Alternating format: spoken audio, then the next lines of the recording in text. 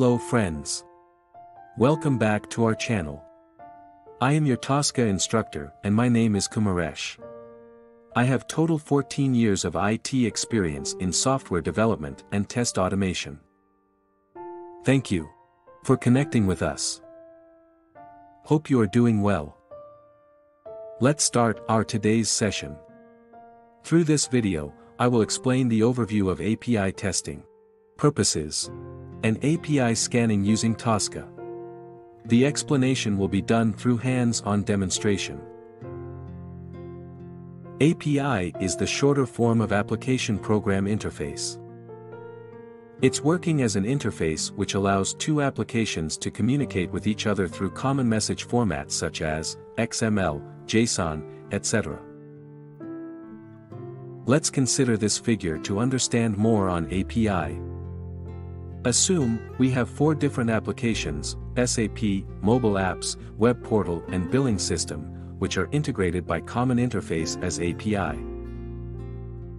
Here API is working as an interpreter.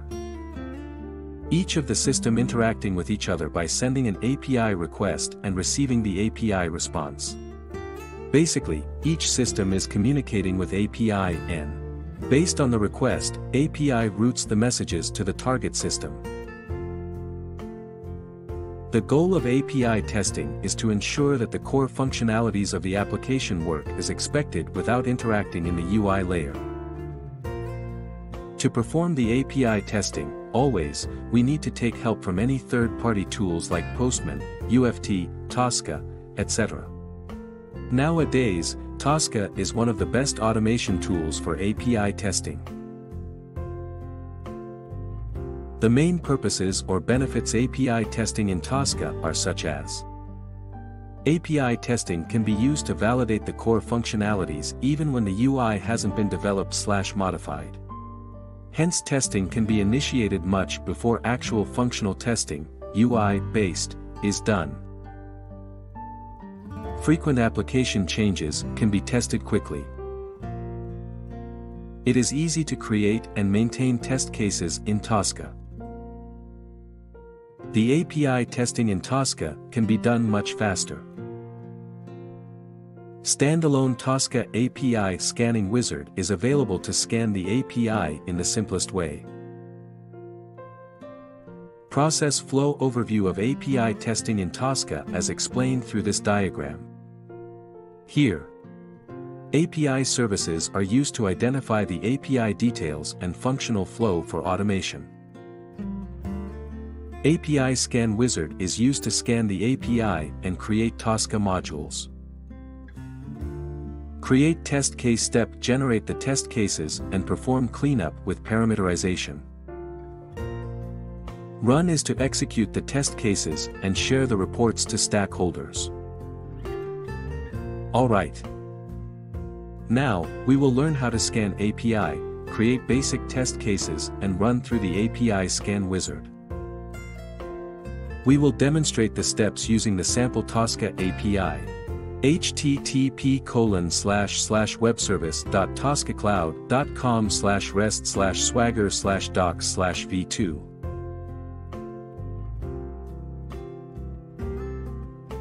First, we will move to the API testing tab.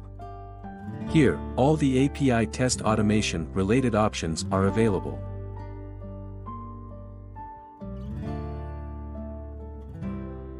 We can open the API Scan wizard by opting the Start API Scan option. It will take few seconds to appear the API Scan wizard.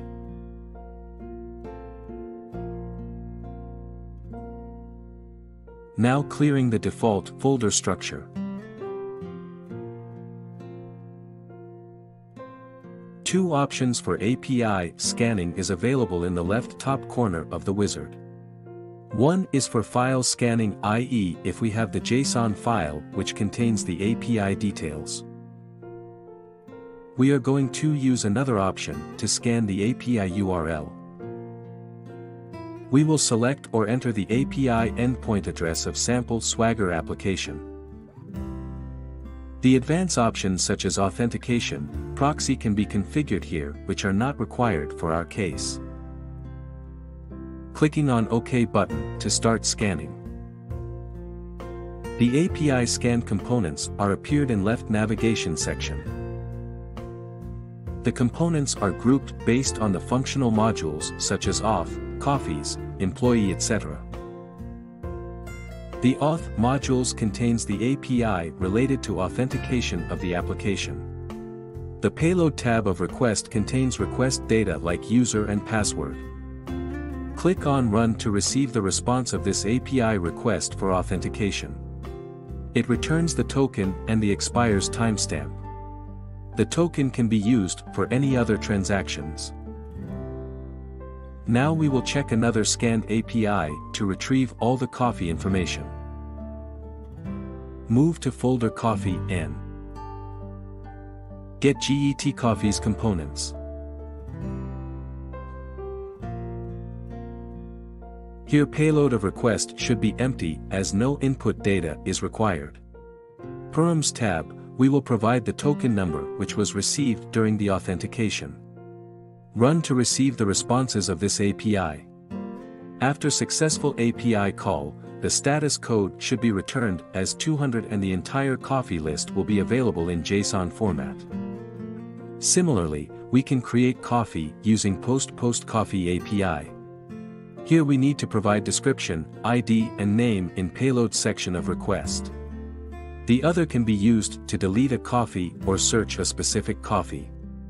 In each of the cases the ID is the mandatory field in payload section. So we can get a picture that, the API can be called with data and the response can be viewed from API Scan Wizard. But, here the main problem is that this components cannot be handled as a Tosca test cases, data cannot be parameterized or verification cannot be performed. It can be used for manual testing similar to Postman tool. So, for API test automation, we need to move this components in the test case section. In the next video, we will create the Tosca API test case. That's all about API scan. Thanks for watching this video. That's all about API scanning using Tosca. We will learn more about API test automation approach in next video. Please visit our website lambdageeks.com for more articles on technology, engineering, mathematics, and various other domain. You can check our other website as well. We have features like YouTube Trends, Twitter Trends, Scientific Calculator and many more other tools. If you like our video, please like, comment and share. If you have any questions, please comment and we will resolve your query.